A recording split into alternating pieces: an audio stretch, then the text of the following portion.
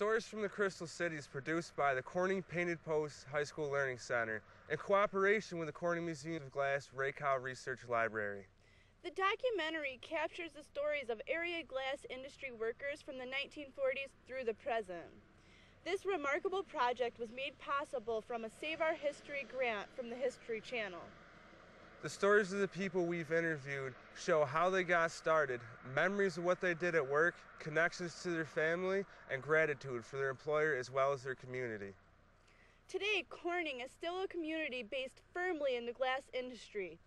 We hope you too can appreciate our rich 150 years of glass history. My name is Becky. And I'm Alex. Welcome, to Corning. Corning is located in the Finger Lakes region of upstate New York. You can't think of Corning without thinking of glass. Corning's history has been a history of glass since 1865.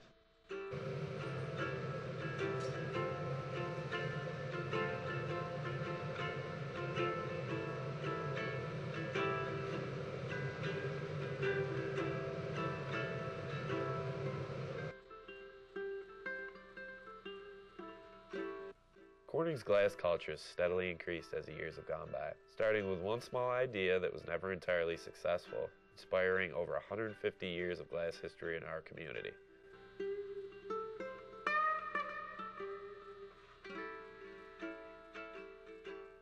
I like to start with a painting because it shows you what Corning looks like when it was a farming community in the 1850s before anyone ever thought about glass making coming to Corning. And what you see here, the green and yellow shutters, that's why the glassworks came to Corning. A man named Elias Hungerford in 1866, who was a local man, businessman, got the idea for glass shutters, which I think were meant to be a cheap alternative for stained glass in your house. So he took out a patent on them, and he went to New York City to find a glassworks to make his stained glass windows. And he talked to the people who owned the Brooklyn Flint Glass Works. That was the Houghton family, uh, Amory Houghton and his son. So Mr. Hungerford apparently said, well, if I get some financial backers, how would you like to come to Corning? And they said, sure, you, you know, get us a free piece of land, which is what Mr. Hungerford did. So they loaded all of the equipment on flatboats and sent them uh, up the Hudson River to Albany, over on the Erie Canal, and down through the extension of um, Lake Seneca to Watkins Glen. And there was an extension of the canal that fed into the Chemung River, and then they went west on the Chemung River, and it was navigable as literally as far as Corning. And that was it. They couldn't have gone any further west because the river wasn't deep enough. So they unloaded all their equipment and they built their factory. And you see the, the little building in the center is the building they built in 1868. So when they came to Corning, uh, John Hoare was an Englishman who had had a cutting shop in the Brooklyn factory. And he agreed to come with them to Corning and, and open a branch cutting shop here in Corning. And the business was quite successful, so he closed down the one in Brooklyn where the rent was higher anyway and brought all his workmen up to Corning. And then his superintendent was an Irishman named Thomas Hawkes. Mr. Hawkes in 1880 split off from Hoare. So that by the 1880s, there were two cutting firms here buying blanks from the Houghtons, from Corning Glassworks. So that was what kept them going for the first 30 years they were here. Um, the blowers who came to Corning, as far as I know, were Americans. The cutters were almost all Englishmen or Irishmen who were trained as cutters and then came to this country. There weren't very many who, who apprenticed in this country.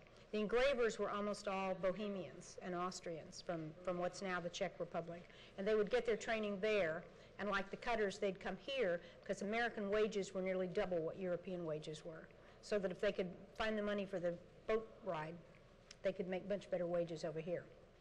And as a consequence, there was a very heavy uh, foreign influence in Corning in the uh, last quarter of the 19th century.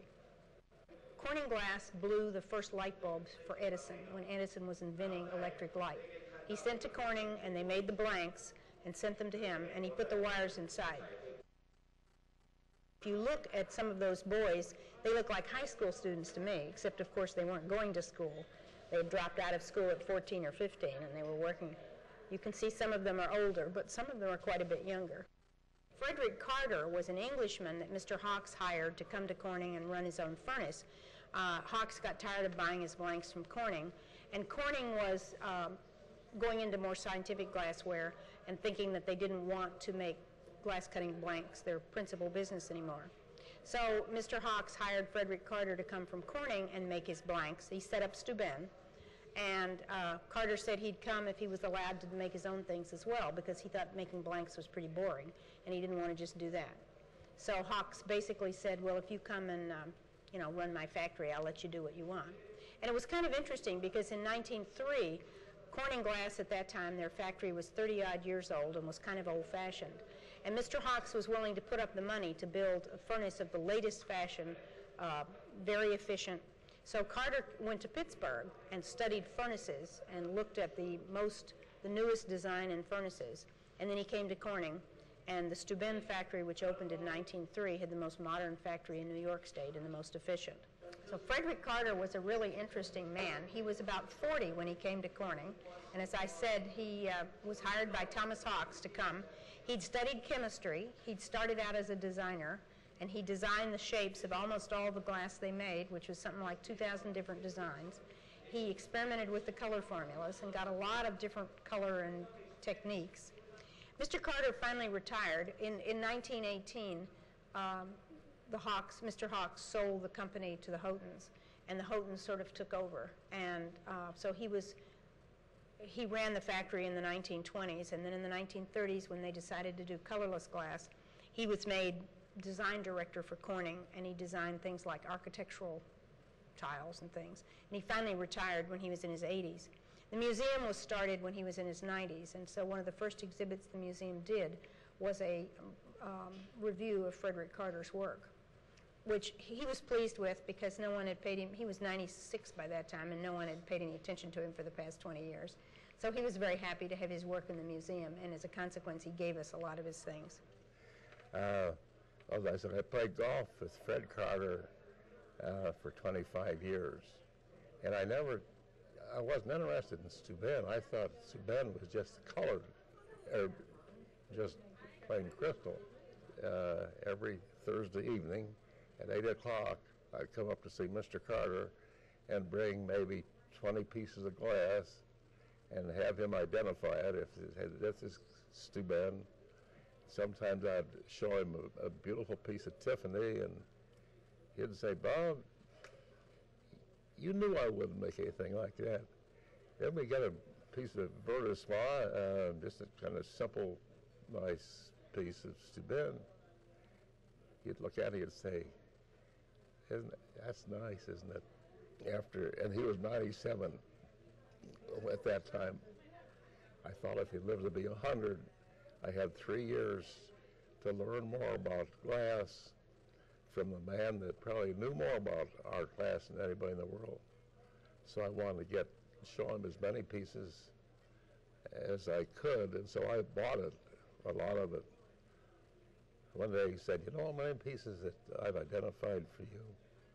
He said, well, uh, he said, you, you bring up maybe 15, 20 pieces.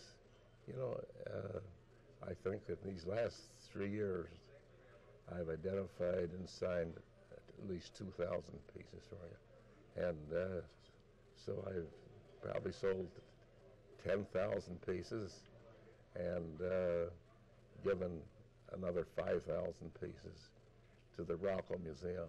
And that collection now, if you want to see probably the most beautiful exhibit of, of glass in the world, is the Carder Steuben Gallery, which is uh, over in the Corning Museum of Glass area.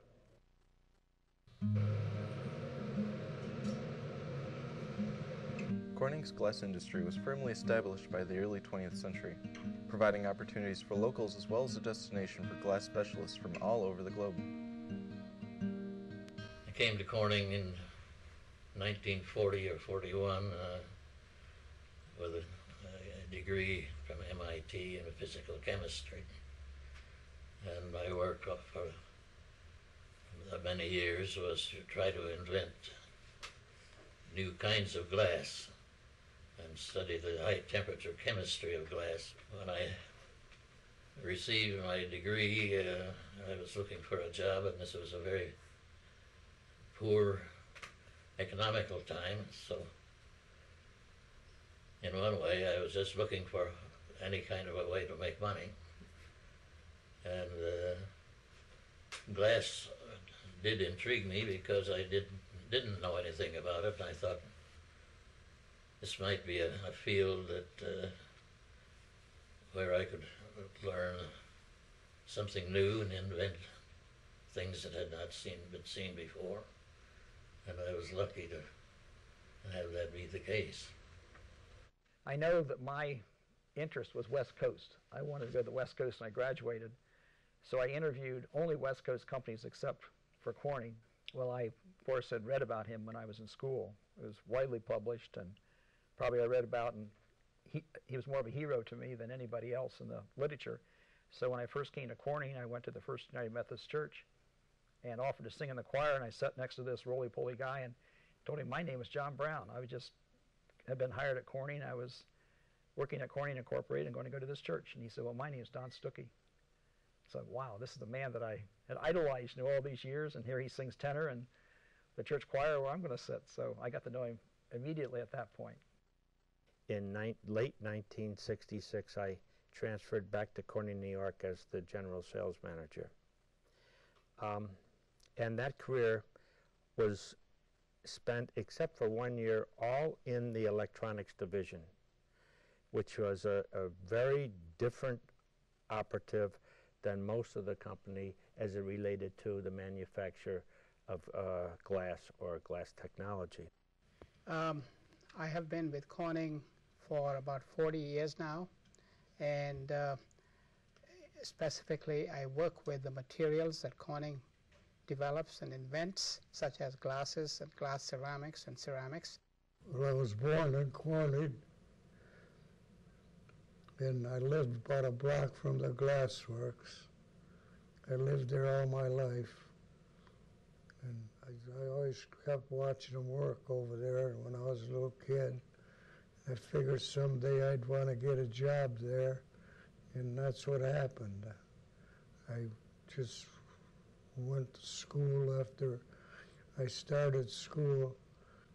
I was I went to the second year high and I had to leave because my brother died and I had to take care of our family for a while for about four years. Then I, I took and I went to work in the glass works and I got a job there. And I finally I got a job in a factory. So I wrote to uh, uh, Orrefors in Sweden, uh, in Germany, in Switzerland, and then Steuben. And even though I didn't speak in English, the you know Steuben sounded like the best place to go. So I came over here, and uh, they hired me, uh, you know, unseen, uh, and I came here in '57. And the first thing that happened to me, I got drafted in the Army. So I had to serve in the American Army for a while until the company tried to get me out of the Army to get in the National Guard, which they did then later. So I finished serving my duty there in the National Guard. I was born October the 25th, 1919. I had a half brother and a half sister. I had a a full sister and a full brother, and myself. My father, he was uh, 60 years old when I was born. My mother, she was about 25. Well, of course, I started out in the labor gang, in the mixing room. And then uh, I went in service for 39 months. When I come out of service, I went in the millwright shop. And I was there until I retired in 1978. We started in 1941. I wasn't even 18 yet. I lied my age, like I lied my age when I joined the Air Force. I already knew how to fly. and uh, then I finally got a job at Corning, and I worked in a factory. I was go to employment office and they weren't hiring. So my father knew the guy who was did the hiring, and he talked to him.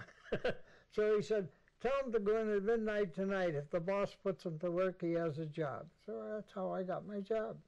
I uh, I think I worked maybe about a year, I got bumped once, and I heard about the Steuben, and I went up to see the boss, and he transferred me in. And then they kept moving me up as I learned. Uh, my father, of course, I knew well, uh, and uh, uh, he was a great influence on me, and I think uh, one of the reasons that I work for Corning is because of him. And he, I, I have to say that he never told me that I had to work for Corning, never once. But somehow it got in the blood. It get, gets gets to you, and uh, so here I am, and and uh, and I'm very proud of the fact that uh, that I'm working for a great company and that I'm following a person like my father and my brother Amo. You know, that's uh, people ask me that, and I I'm just delighted that I came back to Corning and started working here and have been here ever since. So I'm very happy. The glass industry has provided a wide variety of jobs, not only pertaining to the creation of glass, but requiring a diversity in glass-related professions. This diversity provided the support and innovation necessary to bring glass and Corning into the 21st century. I made uh, I made snails.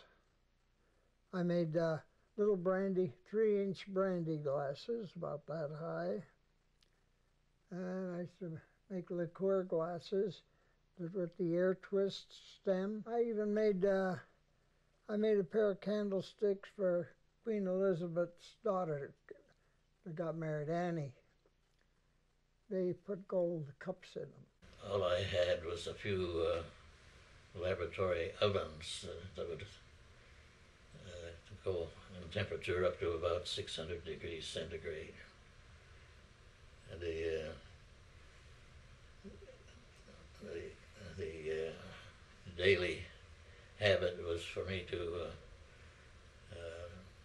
write recipes for nine different glass compositions and uh, give them to a, a, a, a reti almost retired uh, uh, glass worker.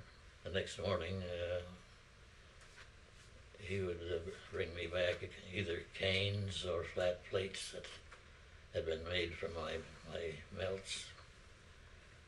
And I would have the physical properties measured, the, the softening temperatures and expansions and this sort of thing. And the plate on the, on the top is called polychromatic glass. It's uh, actually uh, capable of producing photographs in, in, the whole color spectrum, full color photographs, uh, with a system that uh, even Kodak doesn't doesn't know how to reproduce. All of these photosensitive glasses are have the have advantages over other photographic systems in that they're permanent. They'll be their colors will be like this a thousand years from now. And that's uh, something I'm proud of. Well, yes, I'd wait till the glass come up to me, all from the server, and he'd have it half partially made. He shapes it for me, and he hands it to me, and I finish it uh, for the market. When I get done with it, it's gone, goes to the market.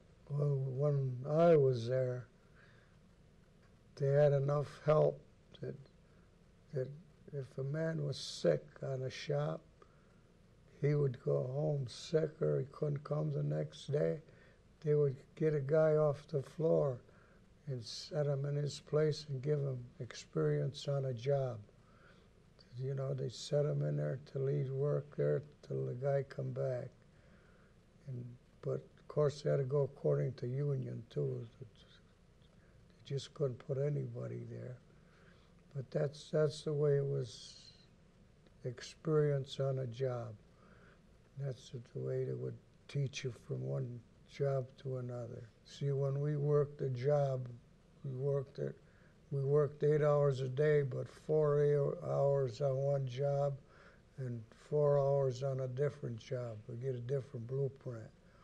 And we work like that so it wouldn't be monotonous. You get a big ball of glass and to get it on an iron, and the server would get it for me and shape it.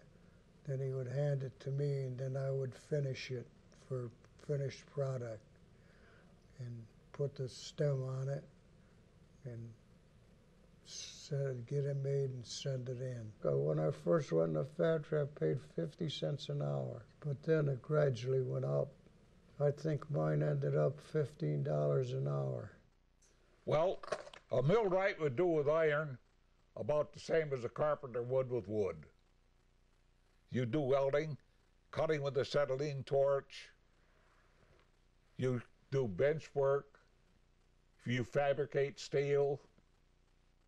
I think there are several projects that I have worked here that are uh, that have impact on society at large, and that's what's most rewarding.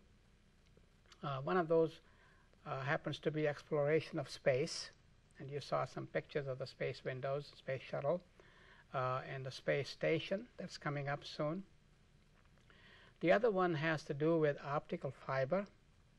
We developed fiber, fiber optics here to transmit light so that our communications will someday, well, already uh, through telephony, uh, is through a, uh, light as a medium rather than electrons as a medium like copper wire. Uh, another project that impacts society at large is to clean our air, our environment, particularly emissions coming from automobiles, buses, trucks, you name it, even stationary sources like power generation equipment. So I worked on a project that Corning is quite well known for, honeycomb ceramics, and that has been also a great source of pleasure for me. Yeah, what I really liked, uh, what I really enjoyed in Steuben was doing one-of-a-kind pieces. We did many one-of-a-kind pieces, and I was very fortunate to do quite, you know, maybe 80% of them. And those are really exciting. They take a lot of time to do, but they're really, you know, the top, the top of, of the skill level. And so we did some really outstanding pieces for uh, either celebrities or politicians or just speculation. Yeah, well, that was an interesting piece. That was uh, not planned as such. It was designed by, by a professor of architecture at Cornell, Zevi Blum. He designed the piece, and Steuben bought the whole concept, and they made the special piece. It was an oval bowl, and I engraved all the figures. There's like 60 figures on the top in Hochschnitt, which is called a cameo cutting. And all these figures were around the top rim of it with the king departing in the center. And it was exhibited in, on, in the store on Fifth Avenue at the time in New York. And I guess the Reagans were shopping for a gift for, you know, Di and Charlie. And they saw this piece and they thought this was the ideal piece to give him because it's a king and his whole entourage around the boat, and that's how this piece became the wedding gift.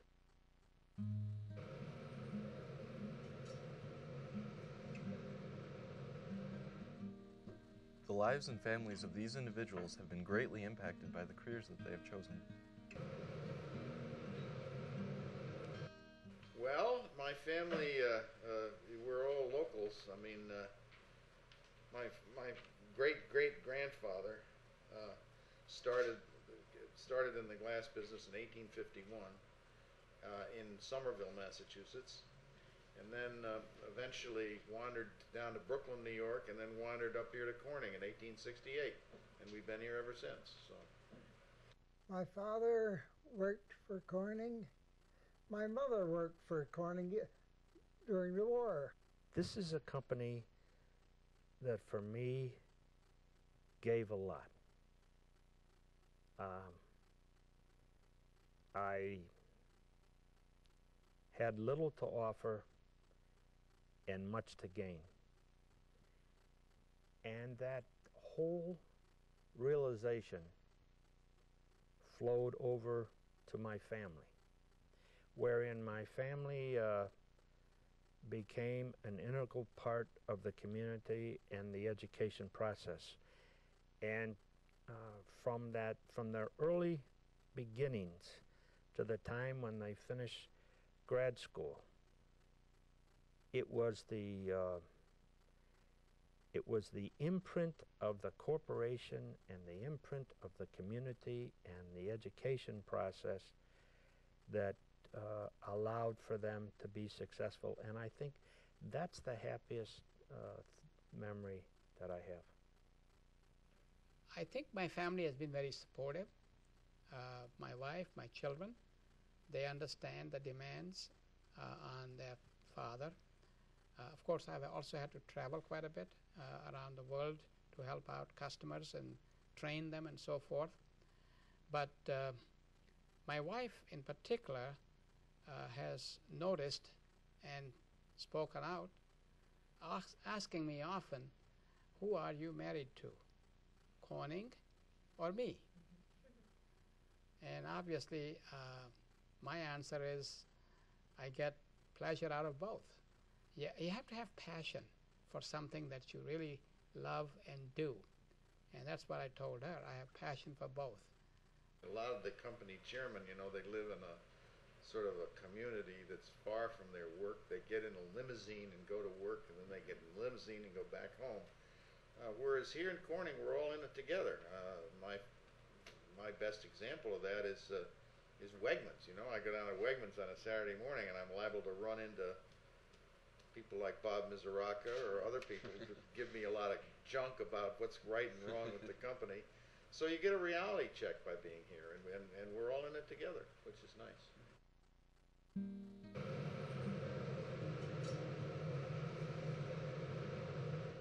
Corning Glassworks, now known as Corning Incorporated, has been and continues to be a pillar in the community. I've been very fortunate. Everything that I worked on, starting from television to the space windows to the fiber optics to display glass, uh, each, each of the projects has brought a new challenge. How do you make this better? Or how do you make it work? How do you make it durable and reliable? After all, a consumer, when you go buy something and pay big bucks, you want to get quality. And that's what we shoot for, is quality. I think we've, we've valued the relationship uh, uh, with, with our workforce, uh, whether they be hourly, weekly, monthly people, and, uh, and we've had an extraordinary relationship with Local 1000 here in, here in Corning. Uh, and uh, I think that we've argued about a lot of things, but at the end of the day, we always get together. If you were to, if you were to take a look at the amount of money and people that this corporation allocates to to the employees in terms of their development, their selection, their promotion. Um, it's significant.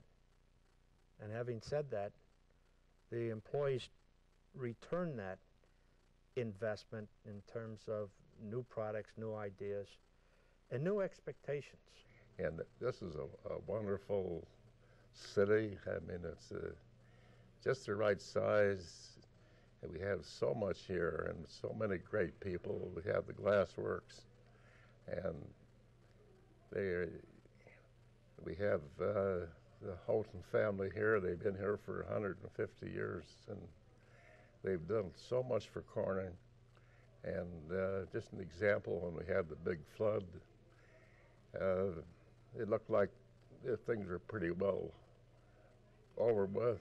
Uh, I know in the store, uh, I thought, well, this is the end uh, because besides owing a hundred thousand dollars uh, and all our merchandise and accounts receivable, the merchandise was destroyed.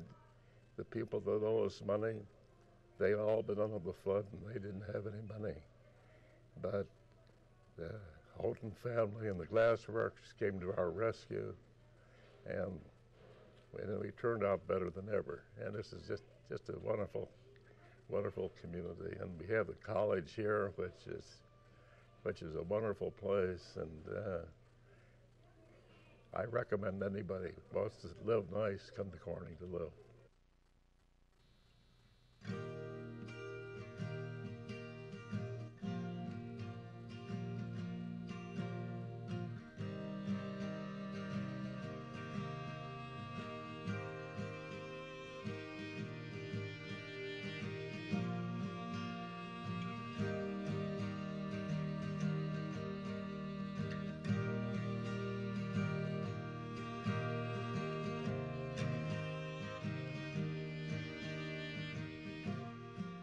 Corning's rich history is evident in the glass culture found in the city today. In addition to Corning Incorporated, the area's largest employer, Corning has many glass related businesses, from the world famous Corning Museum of Glass and the Rakow Research Library to the many studios and art glass shops found in the city. Everywhere you look, one is bound to find reminders of our glass history and influence. Corning is a mecca for glass workers and collectors worldwide.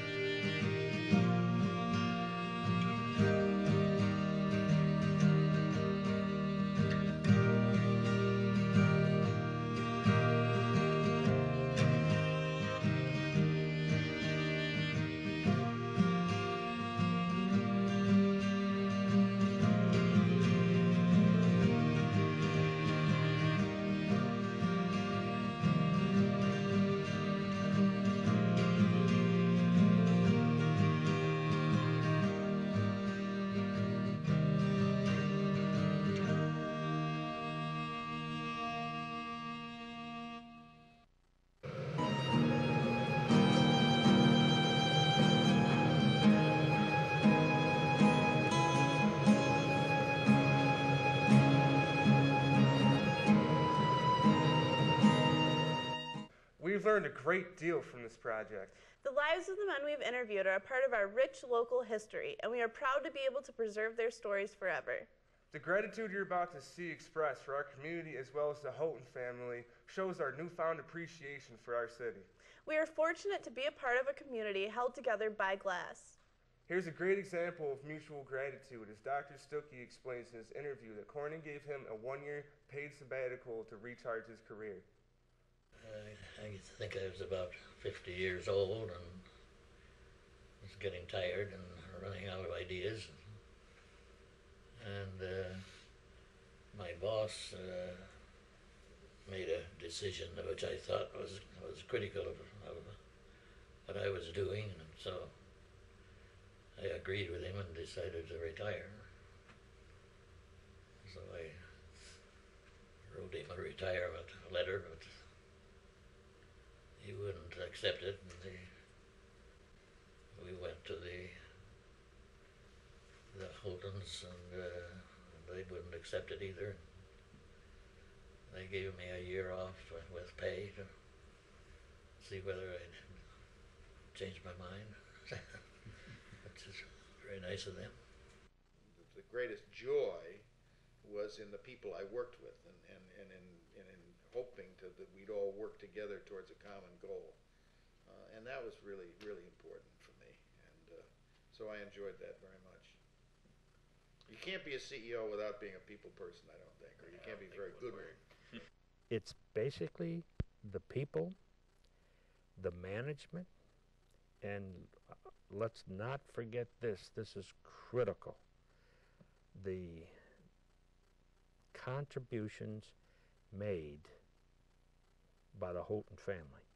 And they are the most humble family and have given so much for so long that uh, their imprint on not only the corporation but the community will be lasting. I'm sure it will. No, it's that's all I can add is it was a good job and it was a good living and and uh, paid well and it was really good. I look forward every morning to going to work. Uh, it, it gives me personal pleasure to do something that is useful, that helps not only the society at large, but also Corning, because Corning has been very good to me throughout these 40 years and continues to be good to me. So I'm very happy about that. I've told my wife more than once the best thing that ever happened to me was when I went to Corning Glassworks. I know the library, the schools, and churches. Gee, I, the future's great. I, I think it's, uh, and we got this great community college, and I don't know a better place. it's, it's proud you're you're proud to be part of it.